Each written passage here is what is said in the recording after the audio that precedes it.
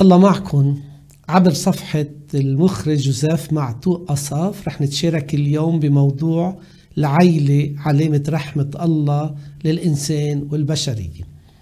أحبائي نحن مدعوين نتأمل بدعوة يسوع لنا كونوا رحماء كما أن الآب السماوي رحيم. هيدا أمر كتير ملح اليوم بالنسبة لنا بخاصة لما أصاب قلب الإنسان من تصلب من أساوي بسبب سقافة الحداثة وما بعد الحداثة هالسقافة يلي عم بتشيع على الفردانية للنسبية وللمادية. وللأسف يلي استولوا بكليتهم على هالإنسان. فصار همه الأول والأخير نفسه. عم يسعى بكل ما لديه ليشبع رغباته ميوله تلبية حاجاته تحقيق راحته حتى ولو على حساب الآخر يلي جعله الله عون لإله طريق خلاص لإله. يلي عم نشوفه اليوم بقلب العائلات بقلب المجتمعات بقلب الأوطان. على الساحات الدولية من غياب لهالحس مع الآخر لهالتأثر والتفاعل مع علام ومصائب ونكبات وحاجات هالآخر. بأكد انعدام هالرحمة بقلب الإنسان. هيدا لأنه الرحمة هي لما أنا بنحني على الآخر بمحبة لما بنحلى بشفقة وحنين بمغفرة للطف جروحه لساعده لعاتبه على خطيته لواجهه وصارحه وانصحه بانحرافاته لساعده إنه يتوب ويرجع إلى الحياة. مشان هيك آه، إذا منفكر بالواقع أكثر جماعة بشرية. تأثرت بانعدام الرحمة من قلوب أفرادها هي العائله وهيدا أمر بخليها تروح إلى فقدان هويتها ورسالتها وبالتالي إنها تتفكك بسرعة مثل ما عم نشوف اليوم.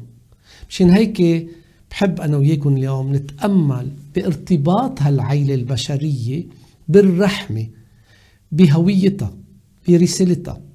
نظرا لما هي عليه من يوم يلي ولدت لأنه العيلة ولدت من رحم الثالوث كخلية أولى للمجتمع ونواة مشروع الله الخلاصي بقلب هالمجتمع.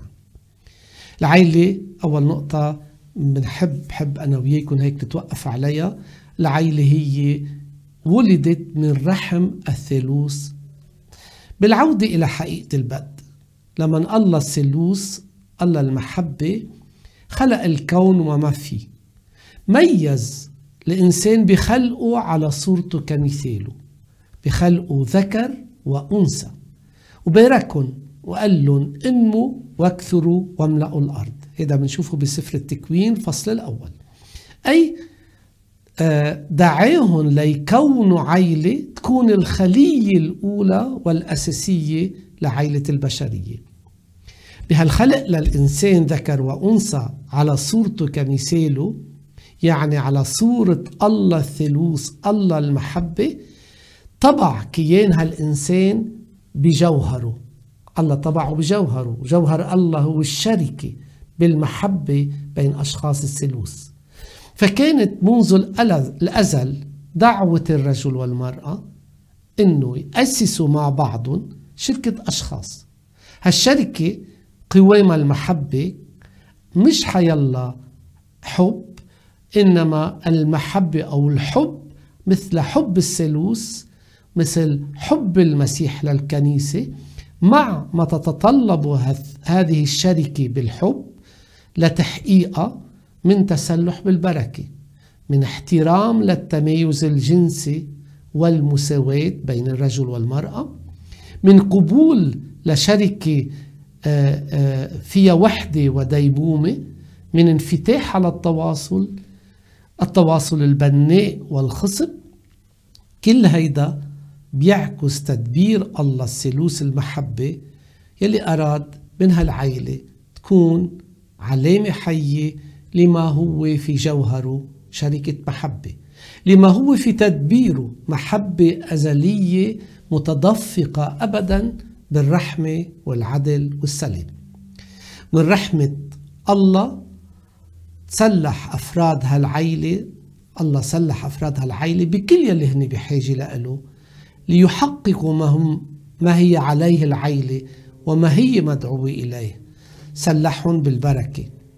سلح الرجل والمرأة بالعقل بالإرادة بالقدرة بالحرية على مشاركته بالخلق. بالقدرة على معرفته ومحبته والدخول معه بالشرك. كما وأنعم علي فأشرك بصفات الأبوة والأمومة يلي هي من صفاته الله هو بي وأم. ليش؟ لحتى هالعائلة تصبح في أبوتها وأمومتها تخلي الله يصير منظور للناس مختبر من الإنسان بقلب التاريخ بقلب التاريخ. بدعوة الله للرجل والمرأة إلى الإكثار أي إلى مشاركته بإعطاء الحياة بالحب. ولأجل الحب بتصير هالعيلة يلي خرجت من رحم الثالوث الأقدس هي بدورة رحم يولد الإنسان والبشرية بنفس قوة المحبة يلي فيها أوجدها الله الثالوث مشان هيك نحن بنأكد إنه العيلة خرجت من رحم الثالوث علامة رحمة رحمة هذا الثالوث تاني نقطة الرجل والمرأة هن علامة رحمة لبعضهم البعض. تتجلى محبة ورحمة وعينة عناية الله الآب الخالق بابنه وقوة روح القدوس بالإنسان لما وضع الكون كله بخدمة هذا الإنسان. ولما أعطى لها الإنسان سلطة على الكون ليطوروا بحسب النظام الطبيعي والشريعة الطبيعية اللي الله طبع فيهم هذا الكون. وتتجلى محبة ورحمة الله بخلقه حواء عون موازي لآدم لحتى يشيل هالآدم هالإنسان من عزلته وحطه بمسيرة تحقيق الصورة الإلهية يلي هو مطبوع عليها بعيش الشركة تعرفوا النص بسفر التكوين بيقول بعد ما الله خلق كل شيء وخلق آدم تأمل في آدم فلقى لوحده فقال من حلو لا يحسن أن يكون آدم لوحده. فأصنع له مثيل يعينه وخلق له بالبداية الحيوانات. ولكن إذا ما لقى بالحيوانات يلي خلقها الله لتكون عون لإله عون حقيقي. لأنه ما بيقدر يتواصل معها فعاد فخلق حواء من ضلعه وأثلج قلبه فأطلق آه، آدم بعد ما وعي صرخة الفرح والحبور وقال هذه عظم من عظامي هذه لحم من لحمي هذه امرأة لأنها من امرئ أخذت. وهيك صار لآدم شريك مساوي له بالطبيعة وبالكرامة. شريك بيقدر يحبه.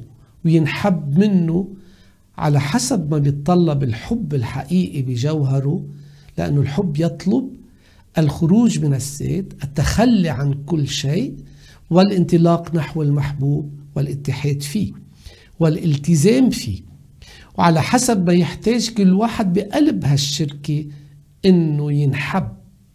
مشان هيك العيلة بحاجة إنه يترك الرجل بيه وامه يتحد بأم بامرأته ليصيران جسدا واحدا. هذا هو مشروع رحمة الله للإنسان. مشان هيك هالصيرورة الجسد الواحد منا صيرورة انصهار بين الرجل والمرأة. هي صيرورة اتحاد بالشركة تعكس وحدة هالمصير والمسار بين الرجل والمرأة. إذا جسد واحد يعني وحدنا مصيرنا وحدنا مسارنا وهالتوحيد يلي هالاتحاد يلي عم بيتم ببركة الله تجعل من الرجل عطية للمرأة والمرأة عطية للرجل ليحققوا دعوتهم للنمو. وهن بنفس الوقت بيصيروا علامة رحمة لبعضهم البعض بالتزامهم بالأمانة لخير كل واحد منهم بمختلف فصول حياته المشترك مش هيك؟ ما في أسوأ من أنه يكون الإنسان لوحده. ويزيد من كون الرجال والمرأة علامة رحمة لبعضهم البعض من الله قدرتهم على أنه يتواصلوا كمتساويين في, الكم في الكرامة. ليتبادلوا كل ما في نفوس من شؤون وشجون ورؤى وأحلام. وهمهم إنه يحققوا منا يلي بيرجع لخير الشخصي وخير المشترك. واللي بيثبت كون الزوجين علامة رحمة لبعضهم البعض بكونهم مدعوين من الله وقادرين بحسب مشيئة الله إنه يطوروا ذواتهم باحترام كلي لهالتميز الجنسي بين بعضهم باحترام كلي لفرادة بعضهم البعض بحيث إنه المرأة بما عندها من فرادة وتميز بتقدر تغني الرجل بما لديها من أنوثة والرجل يغني المرأة ببلاي بكيانه الذكوري وبيشتغلوا سوا على إنه يعطوا بعضهم يلي هن بحاجة لإله ليشعروا إنه محبوبين وينموا ويتطوروا بالعيلة الولد هو علامة رحمة الله للزوجين. الحب الزوجي المنغلق على ذاته بيفتقر بيزبل بيموت مع الوقت. مشان هيك من علامات رحمة الله للزوجين إنه عطيهم نعمة يشاركوه في إعطاء الحياة حتى ينمو بالحب. ويكثرا ويملأ الأرض. فيكون البنون ثمرة حب علامة حية لاستمرارية حب بالزمن. بكون هالولد عطية من الله للأهل مش حق من حقوقهم منه حق ملكية. فكل عطية إلهية للإنسان هون للرجل والمرأة تغني من توهب إليه. مشان هيك لما نرذل على الواقع وبنطلع بهالولد وبنتأمل فيه بقلب العيلة ونتأمل باللي بيقدمه لأهله من حنان من حب من تفهم من مساندة ومساعدة وفرح. هودي كلهم مصدر غنى للأهل بينسيهم كل تعب كل جهد كل ألم في التربية. بقدر ما هن بيكونوا علامة رحمة لإله لهالولد بقدر ما بي يعني علامة رحمة بقدر ما بيأمنوا له تربية مسيحية صالحة. بتخليه يدمى ويتطور كابن لله كابن على صورة يسوع الابن. بصير هذا الولد مش بس سبب غنى سبب قداسة لألون مدعاة فخر لألون قدام الله وقدام الناس. بيكون فعلا الولد علامة علامة رحمة لأهله بقدر ما هالأهل بيتعاونوا مع بعضهم ليحتضنوه ويربوه بالحب وعلى الحب.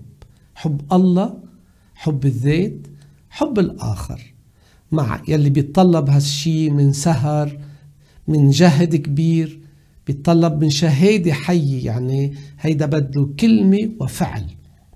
وهل من تعزية وفرح وفخر للأهل أكثر من أنه يشوفوا أولادهم عم بينمو مثل ما نمي يسوع على إيدين يوسف ومريم بالقامة بالحكمة بالنعمة بالحظوة عند الله والناس. في فخر لهم أكثر أنه يشوفوا أولادهم عم بيصيروا أشخاص مسؤولين بحياتهم مسؤولين بمجتمعهم. كم هو عرفان جميل هالولد رح بيكون عظيم. إذا طلع من رحم العيلة إنسان متزن. إنسان ناضج. إنسان أكثر إنسانية. ناضج إنسانيا روحيا فكريا وعلى كل الأصعدة. النقطة الرابعة اللي بنحب نتأمل فيها العيلة هي علامة رحمة رحمة الله للإنسان والمجتمع. الله أراد منذ البدء أن تكون العيلة الخلية الأساسية لبناء عيلة الله الكبرى على الأرض البشرية مشان هيك لما بتكون العيلة بخير البشرية بتكون بخير. لما بتكون العيلة المسيحية بخير الكنيسة بتكون بخير. لهالسبب الله صلح العيلة بكل يلي هي بحاجة له لتحقق هالدور دور الخلية الأساسية. لسيما صلحها أولا بقدرت بالقدرة على أنها تعرفه تحبه تدخل في علاقة حب وحياة معه. الله النبع بقدر ما هالعيلة بتبقى مربوطة بالنبع رح بتدلع حية وتقدر تعمل دورة أكثر من هالقد الله عمل عهد حب أبدي مع هالعيلة. عهد كشف فيه لحرية هالرجل والمرأة طريق الحياة وطريق الموت. مثل ما آه، بنقرأ بسفر التكوين بيقول له ربنا بيقول لهم لآدم وحواء من جميع شجر الجنة تأكلان. أما من شجرة معرفة الخير والشر ما بتأكلوا لأنه يوم اللي بتأكلوا منها بتموتوا موت. تعرفوا اللي صار؟ إنه الإنسان تمرد على الله ما كان وفي على العهد ودخلت كل هالخربطات على حياة الزوجين والعيلة. رغم هيدا الشيء رغم هالخيانة لهذا العهد ولحديت اليوم يلي هالخيانة عم تتكرر حتى اليومنا وعلى مر العصور. الله ما تخلى عن مشروعه للعيلة ما تخلى عن الإنسان. بقي أمين لعهده بقي أمين أنه يعمل كل شيء ليخلص مشروعه للعيلة وبالعيلة ومن العيلة للإنسان ليقدر هالإنسان يحقق سعادته وسلامه وخيره الشامل. طبعا دايما هالإنسان آه، مش دايما عم بيكون ولا نحن عم نكون دايما عقد هالأمانة المطلوبة لنا مشروع الله الخلاصي بالعيلة. قدام فشلنا المتكرر بالالتزام بالأمانة للعهد عهد الحب والحياة مع الله. لهالسبب أرسل الله ابنه الوحيد ليصير إنسان يحبل به بالروح يولد من حشا إمرأة. واختار له أب بالتبني. ليش؟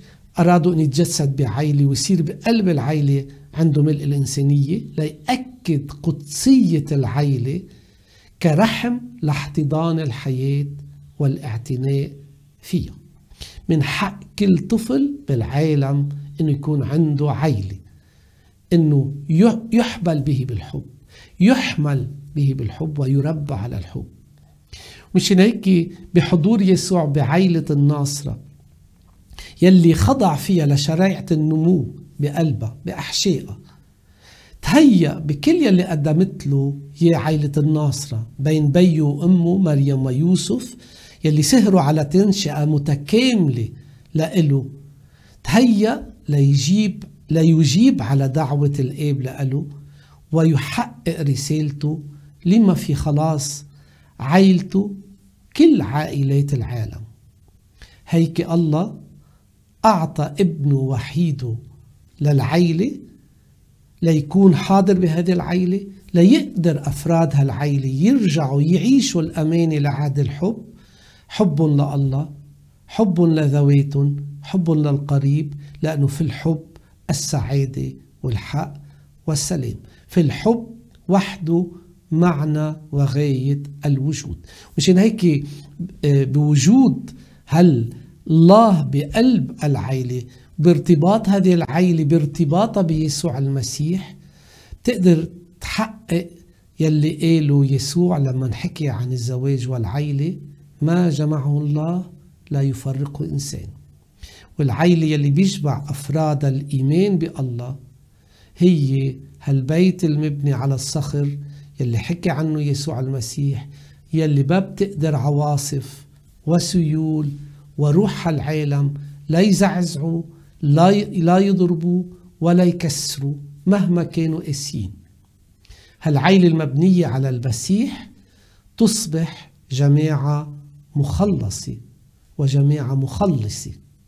تصبح كنيسة بيتية يسوع حاضر دايما فيها الله. تصبح مدرسة للفضائل الإنسانية هودي كلهم بتشح فيهم العيلة وبتمرقهم لبعض البعض لأفرادها بشكل خاص للولاد. بالبيت الولد بيتعرف على الرب. بالبيت الولد بيتعلم يحب. بالبيت الولد بيكتسب الفضائل التواضع الكرم العفة القناعة سهر الروحي الصبر الاعتدال اللطف. العذوبة الأمانة وغيرها من الفضائل اللي بتخليه لهالولد يكون أكثر إنسان. مشان هيك الكنيسة المجتمع البشرية كلهم بيلاقوا بالعيلة الحجر الحي لبناء بشرية أكثر إنسانية. بقلب هالعيلة أراد كمان الله يكون للجد والست لأنه العيلة كمان آه، أوسع من البي والأم والأولاد. يعني العيلة الكبيرة يلي فيها الجد والست أراد الله أن يكون لهم دور هام وبارز يساهم بشكل أساسي. ولو أرادت حضارة اليوم تغيبه بأنه هالعيلة تحقق رسالتها ودعوتها إلى الحب والقداسة. بتقول الكنيسة بلسان راعيها البابا يوحنا بولس الثاني. بتقول لهم أيها الشيوخ أنتوا ذاكرة المجتمع والتاريخ. وحدكم قادرين تمدوا الأطفال والشبان والأجيال الآتية بالحكمة. وحدكم قادرين تردوا هالهوية اللي بتفصل بين الأجيال. وفيكن بعيونكن بأقوالكن بحنانكن. نحن الأولاد منلاقي التفهم منلاقي المحبة منلاقي الصدق منلاقي النصيحة. فهل يحق لنا أن نؤلمكم ونهمشكم بإبعادكم عن قلب عيلتنا؟